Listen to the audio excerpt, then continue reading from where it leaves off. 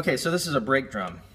Literally, this actually comes off a car, um, but uh, you can pull it off a car and use it as an instrument.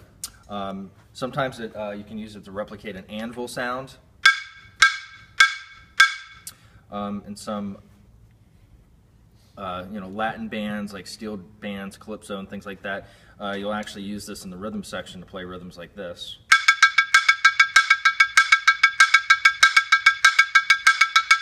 The upbeat.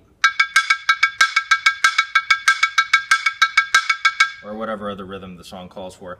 But uh, generally, you'll, you'll use some sort of hard mallet to get that across. Um, but uh, there's no like real true science behind the brake drum. It's literally a, a, brake drum off a car. Some of them resonate more, some of them don't. This is not like a manufactured instrument. This is something that we'd literally pull off a junkyard um, and use as an instrument for different sound effects.